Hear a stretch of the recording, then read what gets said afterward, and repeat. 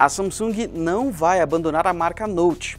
O chefe da divisão mobile da empresa, DJ Ko, garantiu que a sul-coreana não vai abandonar a marca Galaxy Note, mesmo depois dos problemas graves do Note 7. Ko acredita que os fãs da Samsung estão ansiosos para uma nova edição da linha Note.